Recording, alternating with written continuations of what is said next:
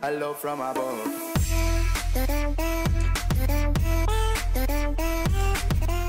Se torne um profissional em jogos de tiro.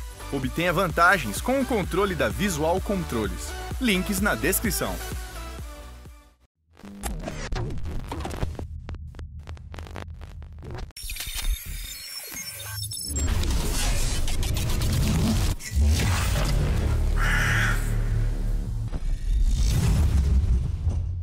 E aí, gente, tudo bem com vocês? Quem fala é o Corvo, trazendo mais um vídeo. Podcastzinho novamente. A gente vai falar sobre o novo COD. Eu tô achando umas coisas bem engraçadas. Eu resolvi fazer um vídeo sobre isso. Mas antes de começar, se inscreve no canal se você ainda não é inscrito e dá like no vídeo, beleza? Então, vamos lá. Pois é, como vocês sabem, semana passada teve a revelação do multiplayer. Eles mostraram muitos modos diferentes. Essa revelação, cara, eu achei muito, muito bom isso. Porque normalmente a gente tem aquelas gameplay meio esquisitinha, mas era sempre TDM, saca? Era sempre o, o padrãozinho, sempre a mesma coisa. E dessa vez eles estão inovando. Dessa vez tem muitos modos novos. Tem modo 10v10, tem modo 20 versus 20. Vai ter o modo Ground War que não sabe ainda se vai ser 64 ou 100 players, eles estão testando ainda. Deve ser um número bem alto.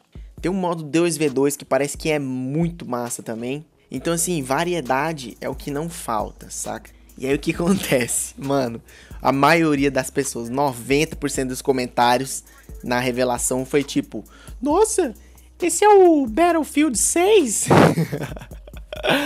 Mano, as ideias dos caras, velho. Todo mundo falando: Ai, COD virou Battlefield, velho. Agora eu nem, eu nem vou jogar mais, não, porque esse negócio aí virou, virou Battlefield.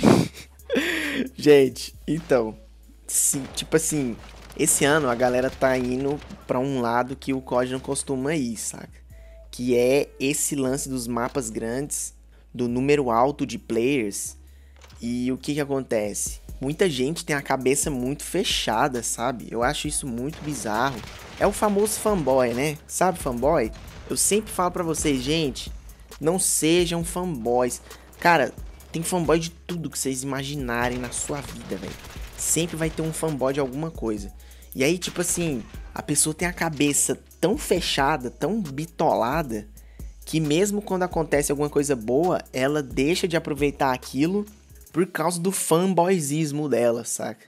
E tipo assim, isso para mim é um exemplo, porque sempre teve essa briguinha de COD com Battlefield, né? Ai, COD é melhor que Battlefield, Battlefield é melhor que COD. E tipo assim, sempre foram jogos muito diferentes eu nunca achei que um, pra mim pelo menos, um nunca competiu com o outro, saca? Eu sempre joguei os dois. Porque eram experiências completamente diferentes. Cara, BF totalmente mais realista, saca? Eu ia jogar de sniper no BF, dava tiro de um quilômetro. Não saía correndo que nem um retardado toda a partida, entendeu? Óbvio, tinha partida que eu saía correndo de sniper. Mas, tipo assim, são gameplays totalmente diferentes, entendeu? E aí o que acontece? As pessoas acham que porque tá no mesmo gênero, porque é FPS, um tem que competir com o outro, cara. Não, não necessariamente. Entendeu? Não necessariamente. Você pode ter os dois, você pode jogar os dois, você pode gostar dos dois. Eu vi algumas pessoas que falaram com essas palavras, que tipo, ah, eu ia comprar um novo código, mas não vou comprar porque tá parecendo BF. Mano. Ai, meu Deus do céu, cara. Ou, oh, na moral, o mal da humanidade é fanatismo, cara. Mano, não seja fanático, velho, de qualquer coisa. Não seja fanático. Sério, fanático é coisa de retardado, velho. Você já viu que esse cara maluco, tem sempre um maluco em todas as áreas possíveis, né? Tem o um maluco da religião, fala que, ah, você vai morrer, você vai pro inferno, porque você não acredita na mesma coisa que eu. É coisa de retardado. Tem uns malucos da política.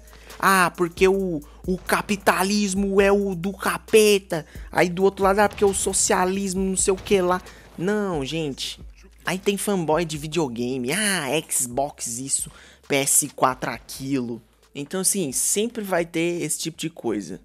Certo? Sempre vai ter esse tipo de coisa.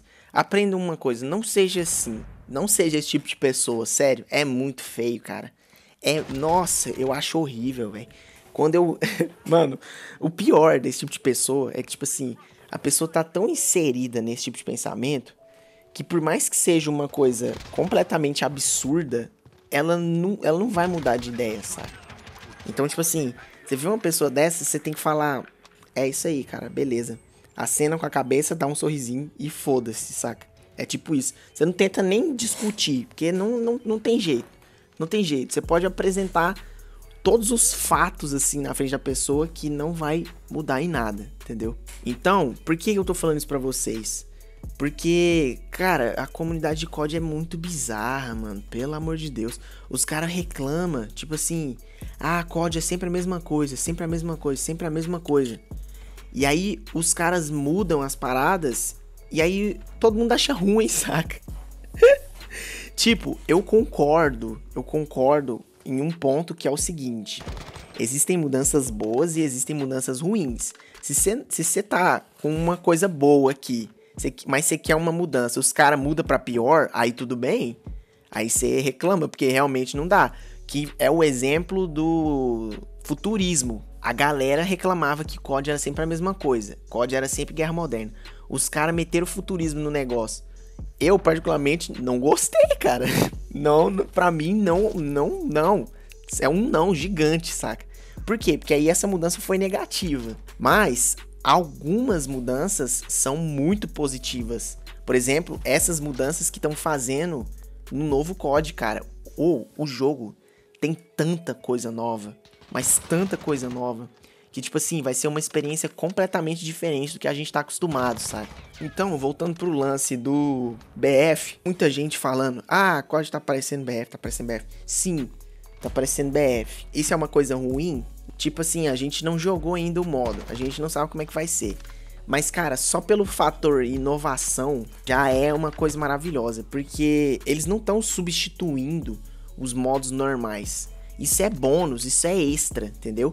Ainda vai ter o TDM, ainda vai ter o contra todos, ainda vai ter o domination, tudo normal, padrão, 6v6. Se você não quiser jogar isso, você tem uma nova opção de um modo novo. Então, cara, é bônus isso aqui. Isso aqui é bônus, é a mais. Se o jogo inteiro fosse modificado, se não tivesse mais TDM, não tivesse mapa pequeno, todos os mapas fossem gigantes, Aí tudo bem, aí eu entenderia as críticas, porque, tipo assim, ia ser uma, uma experiência completamente diferente do que a gente tá acostumado com a franquia. Então, aí sim faria sentido esse tipo de crítica. Agora, no, no estado atual, mano, não faz o menor sentido você reclamar que tá parecido com BF. Porque, ai, tem um tanque lá, tem um, um helicóptero, tem um quadriciclo. Mano, foda-se, saca? Foda-se, inovação. O lance é inovar mesmo. Tem que pegar as coisas boas dos outros jogos e meter no seu jogo, mano. Você não vê o Fortnite? Por que, vocês acham que Fortnite faz sucesso? Porque os caras são espertos pra caralho, velho. Eles vê os negócios funcionando nos outros jogos e falam: ô, oh, esse trem funciona pro fulano, por que, que não pode funcionar pra gente? Então, assim, eu vejo isso como uma mudança extremamente positiva eu acho que vai ser incrível esses modos com muita gente. Mano, imagina jogar COD com 100 pessoas. E tipo assim, esse tipo de mudança só tá sendo possível porque eles mudaram a engine. Com a engine antiga não tinha a menor possibilidade de você ter uma partida bem fluida mesmo, tipo partida foda com 100 players, saca? Os caras tiveram que fazer um malabarismo dos infernos para conseguir fazer o, o blackout porque o Blackout ele é feito na engine antiga. Só que você não encontra muita gente ao mesmo tempo no Blackout, saca? Querendo ou não, o sistema é diferente do que do Battlefield, por exemplo. Battlefield tá lá os 64 players na sala e você encontra com uns 20, uns 30 de uma vez. É bagunço o negócio, é guerra. Blackout não tem esse tipo de ação. Por quê? Porque a, até a engine não ia aguentar, entendeu? Mas então, é, o lance de estar tá parecido com o BF, eu não acho que é uma coisa que, tipo assim, você vai pegar o jogo, vai começar a jogar e vai falar, nossa, tá parecendo BF. Eu não acho que é assim. Porque, querendo ou não, a mecânica inteira do jogo ainda é do COD, saca? A gameplay do jogo é do COD. Que, na minha opinião, é a melhor que tem, cara. De FPS, é uma fluidez insana. Tipo assim, não é porque eu sou fã da franquia, não. Já joguei muito FPS. Só que no quesito diversão, no quesito diversão, diversão mesmo, pura, cara, pra mim não tem nenhum FPS que bate com o COD, saca? A gente tem FPS incríveis aí no mercado. Tem o Rainbow Six, por exemplo, é muito bom, tem CS. Mas, cara, nesse quesito casual mesmo, assim, de que é o arcade, né? O, o COD ele é um arcade. Cara, para mim de arcade não tem nenhum que bate com o COD. E aí o que acontece? Esse ano a gente tem uma situação um pouquinho diferente. Esse lance de ser parecido com o BF, cara, vai ser muito bom, sabe por quê? Porque a nossa queridíssima EA, todo mundo sabe quem que é, né? A filha do demônio. Os caras conseguiram matar mais uma franquia. No caso, Battlefield, né? Porque convenhamos, Battlefield 5 foi um belo de um cocô. Antes de você vir me xingar e você que é fã do BF5, lembre que eu falei do fanboy, tá? Lembra que eu falei do fanboy? Não tô falando isso baseado na minha opinião só, porque todos os canais de BF que se você for, os caras estão falando do COD novo, saca? Mano, muita e muita, muita gente, vocês não estão entendendo. Muita gente vai vir do BF para o COD. Por quê? Porque o BF tá uma merda. Ninguém quer saber de guerra antiga mais, cara. A gente quer guerra moderna, a gente quer é bomba mesmo, é tanque, é helicóptero, jato. Se esse último BF tivesse sido estilo BF3, tinha dado um pausão no COD nesse quesito, né, de pessoas jogando, porque cara, ninguém quer guerra antiga mais, a galera não entendeu isso ainda. Chega de arminha antiga, chega. Gente quer arma que existe, arma moderna, saca? Então, a meu ver, esse lance do COD estar tá parecido com o BF vai ser extremamente positivo, cara. Vai ter muito mais gente jogando esse jogo agora do que os últimos CODs, porque a comunidade do BF vai migrar pro COD, velho. Tô falando pra vocês, a comunidade do BF vai migrar pro COD enquanto não lançarem um BF foda, saca?